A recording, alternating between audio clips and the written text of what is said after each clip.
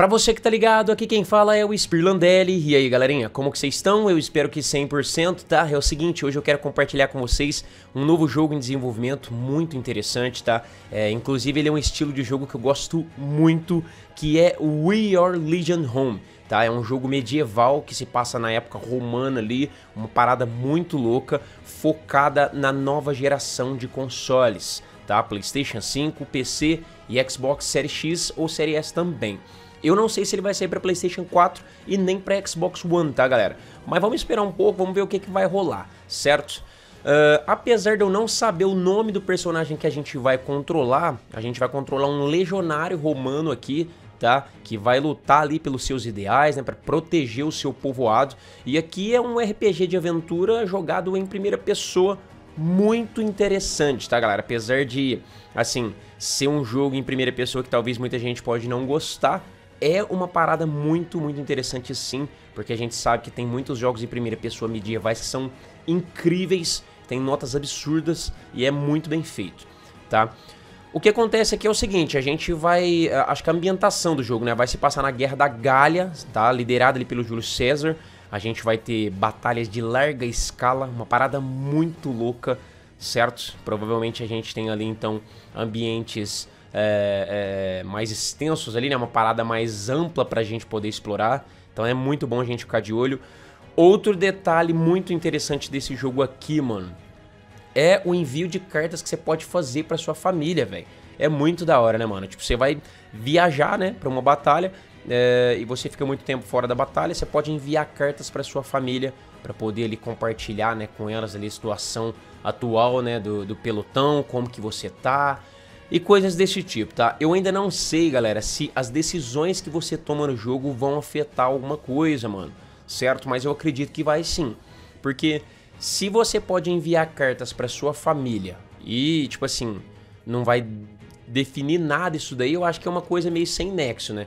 Eu acho que é bom, tipo, dependendo das escolhas que você fizer, você vai ter resultados diferentes, igual a gente teve lá no Metro Exodus, que eu terminei a série, né? Uh, dependendo das suas escolhas também no Dying Light 2, você vai ter resultados diferentes. E essa parada de resultados diferentes, apesar de já existir né, no PlayStation 4 e no Xbox One, essa, essa questão de você, dependendo das escolhas que você fazer, você tem resultados diferentes.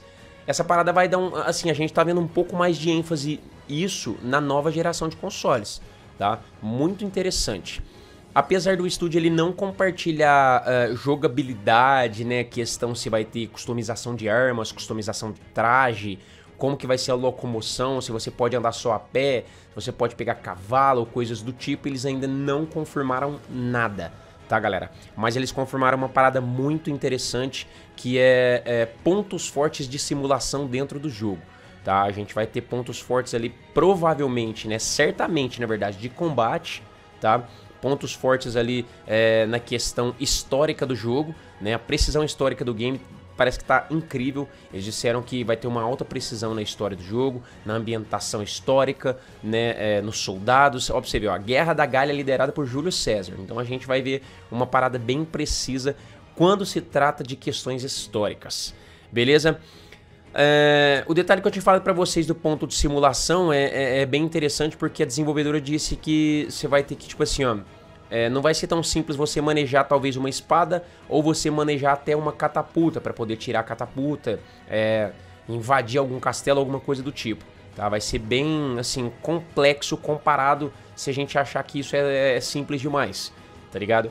Então é isso, ó. Esse é We Are Legion Home, tá? Um jogo interessantíssimo que vale muito a gente a pena ficar de é, vale muito a pena a gente ficar de olho, certo? Principalmente quando se trata de jogos de nova geração, que a gente vai ver gráficos mais bonitos, uma, uma, uma questão de detalhe gráfico ali mais legal, mais interessante e existe fortes ênfases desse jogo não chegar no Play 4 e no Xbox One. Então é bom a gente ficar ainda mais de olho porque aí eles vão começar a explorar mais o poder gráfico da nova geração.